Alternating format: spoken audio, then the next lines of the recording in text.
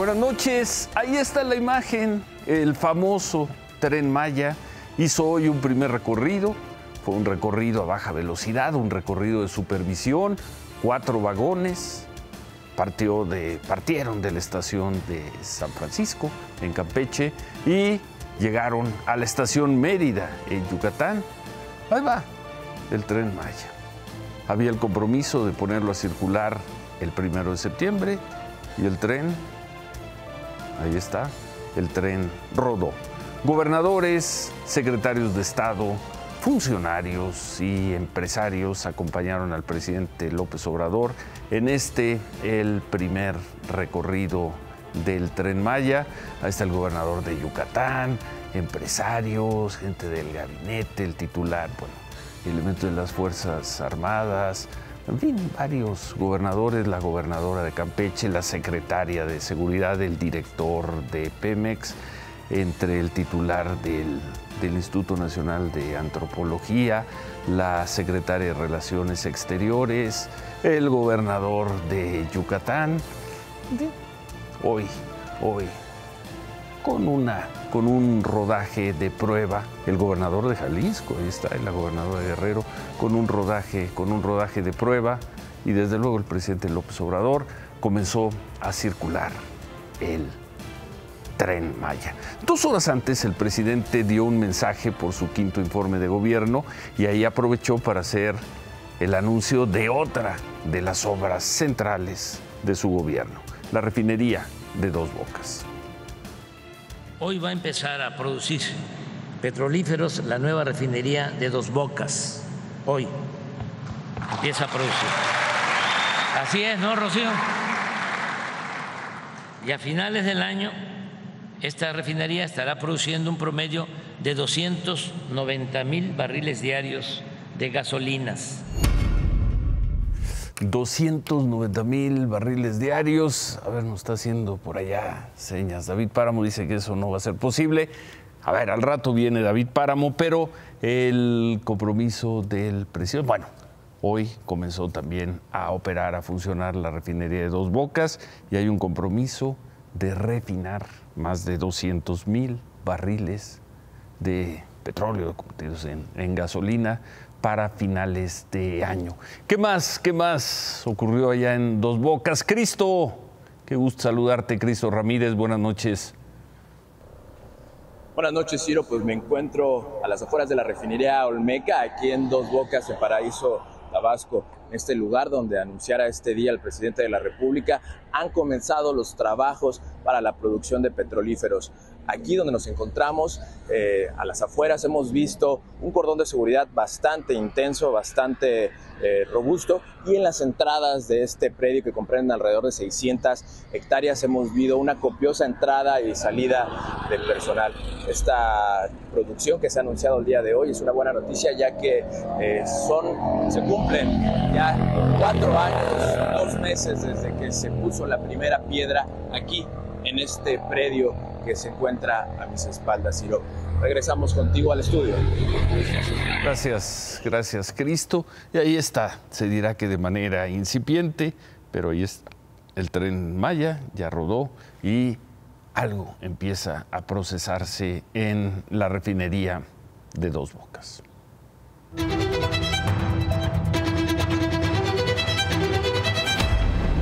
Hoy se presentó el quinto informe de gobierno ante el Congreso de la Unión, que comenzó sesión ordinaria.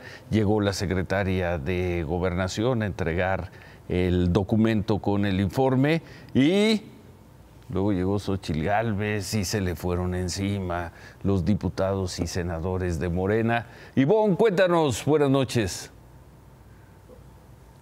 la apertura del periodo ordinario de cada primero de septiembre, tradicionalmente centrada en la entrega del informe de gobierno que hoy trajo aquí la secretaria de Gobernación, hoy se convirtió en el arranque de campaña del Frente Amplio por México, que desde muy temprano cobijó a la senadora Xochil Gálvez, la apapacharon y después, cuando inició la sesión, también su partido decidió que fuera ella quien fijara postura.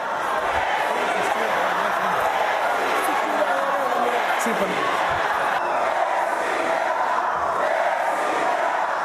Los morenistas se dividieron. La mayoría salió del recinto, le hizo el vacío. Algunos se fueron al frente, le empezaron a gritar y cuando se pusieron intensos, tuvieron el regaño de la presidenta de la mesa directiva y también de Xochil Gálvez. Les voy a pedir, por favor, que se dirijan a, que se dirijan con respeto, sin adjetivos calificativos. Lo curioso es que antes los gritos eran de la oposición, pero no cabe duda que la esperanza ya cambió de manos. Al final, cuando ya se estaban calentando más los ánimos, todos los legisladores frentistas decidieron acuerparla y acompañarla así para este cierre de mensaje. Les digo con el corazón, vamos a construir el México que soñamos y merecemos. Acabemos con la autocracia, la polarización. Es el tiempo de México. Es ahora o nunca. Hasta lograr el sueño mexicano.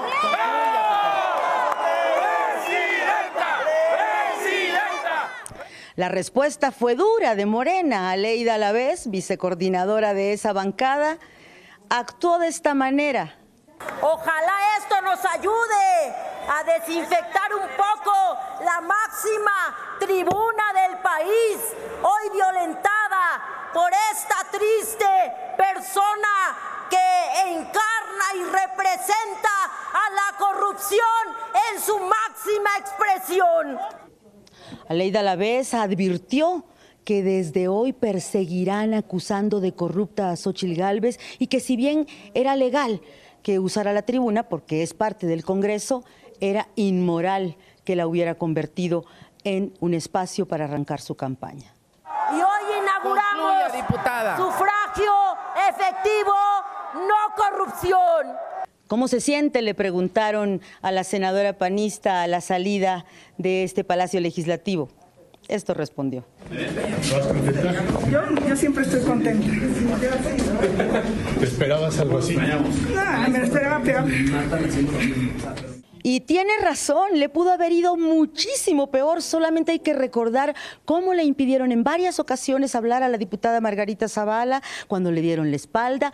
Hoy Xochil Gálvez y el Frente tomó a la 4T de bajada metida, dividida en su encuesta que todavía no termina y por primera vez en cinco años, este espacio que siempre fue de la 4T, hoy tuvo que ser compartido con los frentistas, en un arranque de campaña que no fue en el Ángel, sino aquí. Bueno, advierte Morena, van a perseguir a Xochil Gálvez para gritarle donde le encuentren corrupta. Xochitl Gálvez dice que lo esperaba peor y los legisladores de Morena dicen que pues es legal que ella es senadora haya hablado en la tribuna, pero dicen que fue inmoral, interesante, inmoral que alguien se haya servido de un espacio público para hablar. En fin, Veíamos al, en fin, veíamos al inicio parte de lo que dijo el presidente López Obrador en su quinto informe, un mensaje de una hora y 25 minutos, lo dio en el centro de convenciones en la ciudad de Campeche, ahí estuvo acompañado por el gabinete legal, por el gabinete ampliado, eh, estuvieron todos los gobernadores de su movimiento y cuatro que no son de Morena, el de Jalisco, el del Estado de México, que ya se va, el de Yucatán y el de Durango. Estuvieron también empresarios, estuvo el embajador Ken Salazar. El mensaje por su informe del presidente López Obrador, ahí aseguró que va a evitar la corrupción y que no habrá derroche del presupuesto, porque eso, con ese dinero, es con el que han podido apoyar a los pobres. En los casi cinco años de mi gobierno ha quedado demostrado que nuestro modelo de desarrollo denominado humanismo mexicano, resumido en la frase de que por el bien de todos, primero los pobres, es eficaz y funciona de manera excepcional. En el tiempo que nos falta para terminar nuestro mandato, seguiremos con la misma estrategia, atendiendo a todas, a todos, respetando a todas, a todos, pero dándole preferencia a los más pobres y a los más necesitados. El presidente también señaló como un logro la distribución de los libros de texto gratuito y aprovechó, pues como lo hace casi todas las mañanas, para eh, por ahí criticar a los gobernadores de Coahuila y Chihuahua por no estar distribuyendo los libros de texto y como lo hace todas las mañanas aprovechó para, para hablar de los ministros de la Suprema Corte de Justicia y de los jueces y magistrados del Poder Judicial. Voy a proponer una iniciativa de reforma constitucional para limpiar al Poder Judicial de complicidades, conflictos de interés, convivencias inconfesables, corrupción y derroche de recursos. Es indispensable y urgente que los jueces, magistrados y ministros sean electos de manera directa por el pueblo. El presidente anunció que el tren México-Toluca se va a llamar El Insurgente, esto en honor a Miguel Hidalgo y así, así transcurrió el mensaje por el quinto informe de gobierno del presidente López Obrador.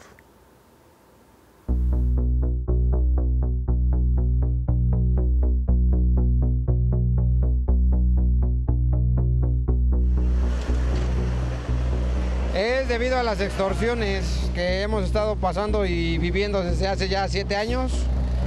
Nos llega una tras otra y ahorita esta ya sería la cuarta extorsión y es lo que queremos, el apoyo ya del presidente para que investigue. Pues ahora hay que pagar por trabajar.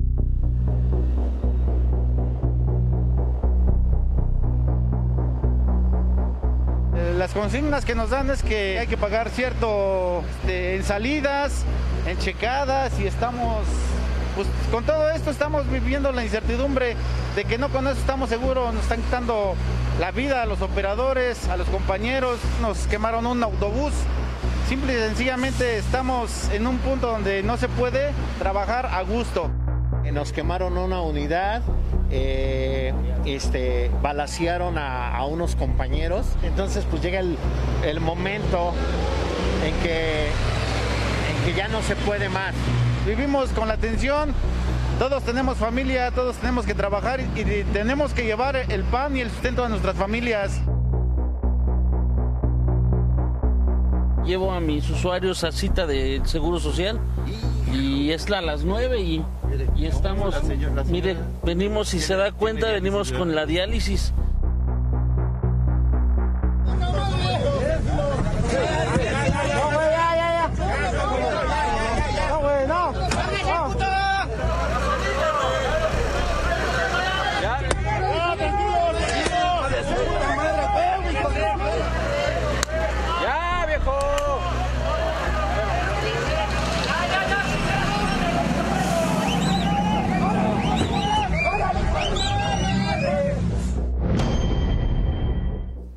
Nueve horas, nueve horas, durante las cuales transportistas de totalmente Tizayuca bloquearon la autopista México-Pachuca para protestar por el aumento de las extorsiones.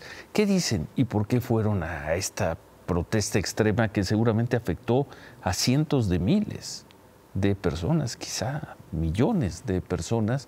Dicen que los extorsionadores les están cobrando, les cobran entre 200 y 600 pesos y que hicieron la protesta de hoy porque les quieren cobrar más. Y si no lo hacen, pues ya vieron las consecuencias, amenazas, les queman las unidades, los agreden. Los transportistas se retiraron tras una reunión con autoridades de los gobiernos de Hidalgo y el Estado de México. Las autoridades se comprometieron a instalar un corredor de seguridad que vaya de la alcaldía Gustavo Madero de la Ciudad de México hasta Tizayuca, Hidalgo. ¿Cómo justificar a quienes durante nueve horas afectan a cientos de miles de personas? ¿Cómo no darles la razón cuando llevan semanas, meses denunciando que son víctimas de grupos de la delincuencia que los extorsionan? Hoy llegó la autoridad y ¿qué dijo la autoridad? Que va a poner seguridad en la zona. Veremos. En otras, en otras cosas, veremos. Esta tarde se registraron lluvias, lluvias muy fuertes en Los Cabos y en La Paz, esto en Baja California Sur. Ahí en La Paz, policías municipales y rescatistas lograron sacar así, pues, de ese arroyo que se formó, a un hombre de 90 años que intentó cruzar con su vehículo, fue atendido por paramédicos, se reportó en buen estado de salud. Las imágenes de nuestras lluvias por todo el país. Por ejemplo, anoche vimos las afectaciones que dejó la lluvia en la zona metropolitana de Guadalajara. Hoy, pues hoy llegaron los trabajos de limpieza, el recuento de daños, en las imágenes del día siguiente. La lluvia de ayer afectó, según se reportó, unas 53 casas, vean las imágenes, y unos 140 vehículos quedaron varados o afectados por las inundaciones. El daño mayor ocurrió en la zona sur de Guadalajara.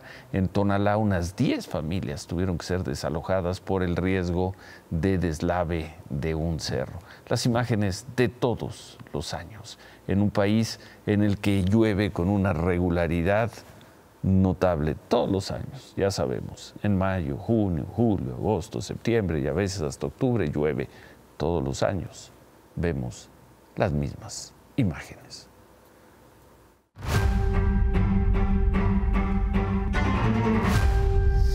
Bueno, y hoy se conoció, tres viernes después, que un tribunal colegiado ordenó dejar en libertad al fiscal de Morelos, Uriel Carmona, detenido hace cuatro, fueron no tres, fueron cuatro viernes por el supuesto delito de obstrucción de la justicia pese a tener amparo y demás.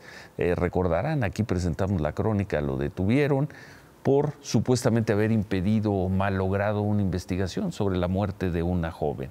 Ah, en el reclusorio norte estaría por, perdón, es el reclusorio sur. En el reclusorio sur estaría por salir el fiscal Uriel Carmón, el fiscal de Morelos, pero pues no lo ha hecho, no ha salido. Miriam, buenas noches. Ciro, ¿qué tal? Buenas noches. Pues seguimos aquí afuera del reclusorio sur esperando que salga el fiscal de Morelos, Uriel Carmona, luego de que el décimo tribunal colegiado en materia penal de la Ciudad de México cambiara la medida cautelar de prisión preventiva justificada a que él pueda presentarse cada ocho días a firmar, esto sería cada lunes, y así seguir su proceso en libertad por este delito que le imputa la Fiscalía de la Ciudad de México de obstrucción de la justicia. Ya pasaron siete horas, Ciro desde que él fue notificado y hace como dos horas nos decían sus abogados que únicamente estaban esperando que el juez de control, el juez de la causa que lleva su proceso, ordenara su liberación. Sin embargo, este tiempo se ha ido alargando y la sospecha de sus abogados es de que hay otra orden de aprehensión en su contra, también radicada en la Fiscalía de la Ciudad de México. Ha habido movimiento de camionetas de la Policía de Investigación. Hemos visto agentes aquí alrededor de la la puerta del reclusorio sur y ahora estamos enfocando hacia la puerta de aduanas, que es hasta donde entraron hace unos momentos unas camionetas de la Policía de Investigación y bajaron algunos elementos. Se nos dicen que posiblemente salga por esta área de aduanas y ahí este, se le pueda ejercer o se le pueda ejecutar una nueva orden de aprehensión, Ciro. Este es el, el rumor, no hay nada todavía en concreto, pero seguimos aquí afuera del reclusorio sur. Bueno, pues a esperar. Gracias, muchas gracias. Gracias, Miriam. ¿Qué dijo la Fiscalía de Justicia de la Ciudad de México?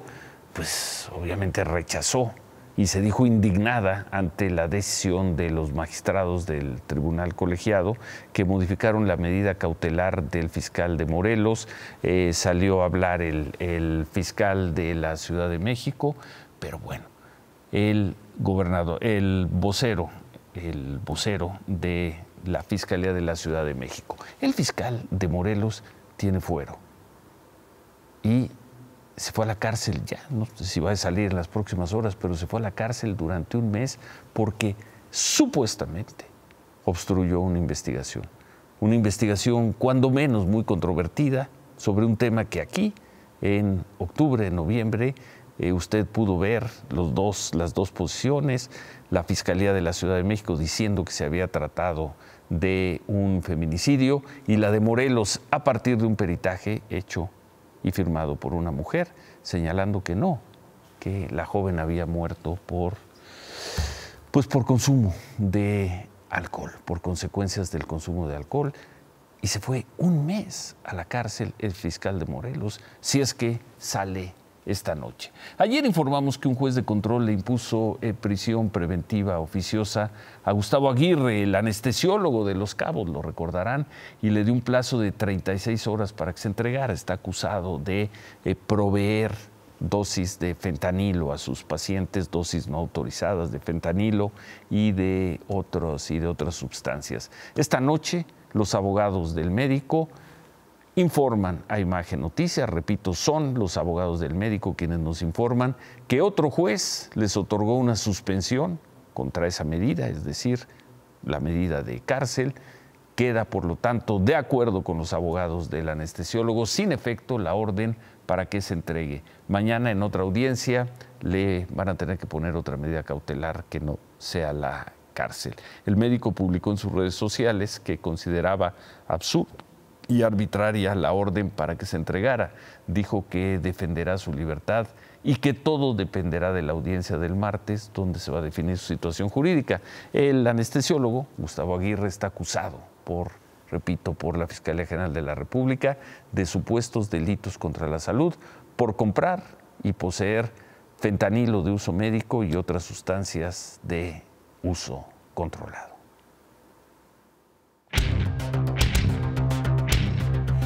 Como es viernes y como además últimamente me has estado diciendo que hay que ver con más optimismo las noticias, me voy a poner. Yo te he dicho eso. Sí, me dices que me ponga contento por salir los buenos números de la economía. Yo, nunca digo que te, pongas Ya ponte contento y es una buena noticia. Una buena noticia que diga a ver, que la economía va a crecer. Te, te voy a contar esta historia de la siguiente manera. Sí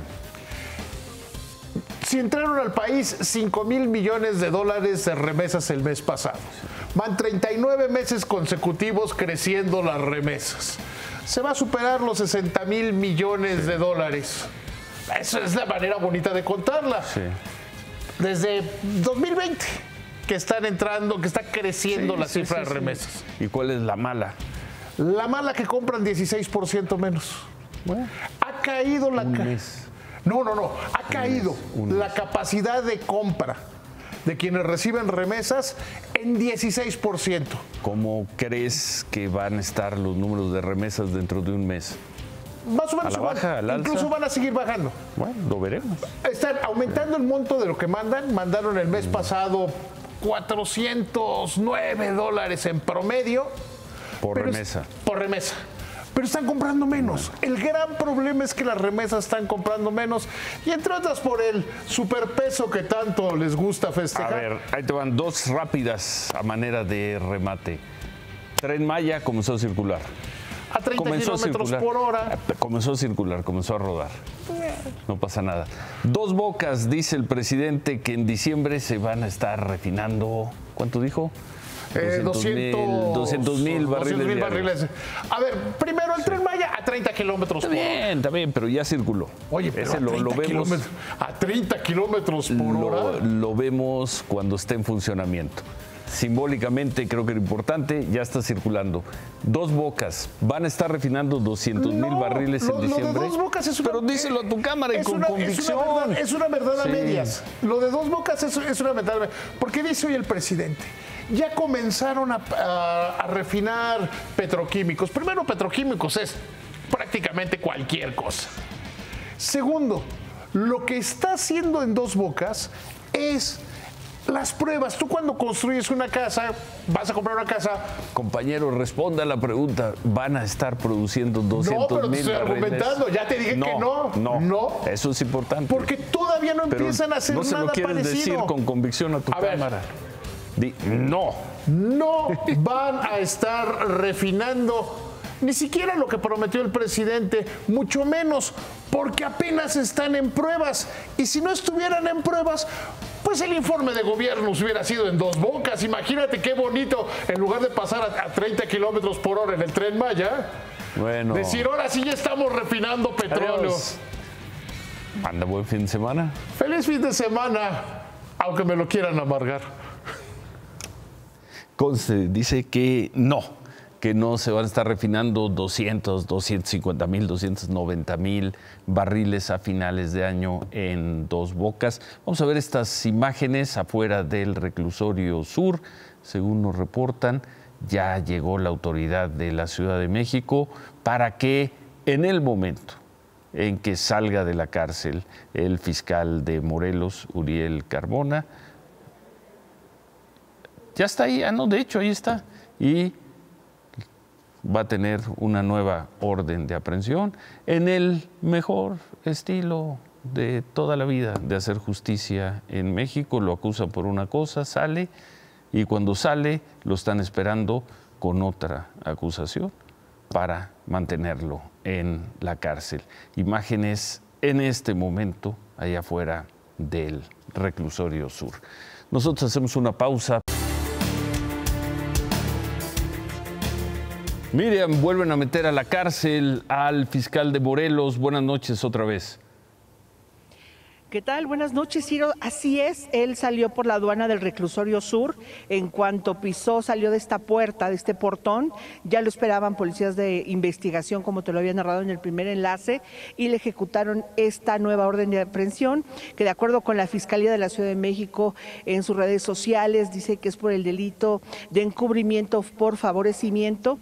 Se enterará el fiscal en qué consiste esta nueva acusación, pues en unos momentos más, porque el fiscal fue trasladado dado aquí mismo a los juzgados del Tribunal Superior de Justicia de la Ciudad de México, con sede aquí en el Reclusorio Sur. Será presentado con el juez de la causa que emitió esta nueva orden de aprehensión y pues sabrá de qué se trata. Los pormenores los tendrá él. Eh, nosotros pudimos grabar desde la reja este momento en que se le ejecuta esta orden de aprehensión y lo suben a esta camioneta de la Policía de Investigación Ciro. Así que él se quedará de nuevo en la cárcel.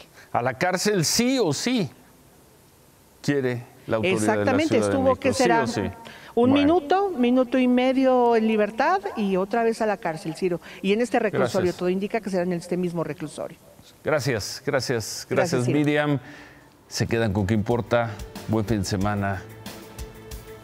Ánimo.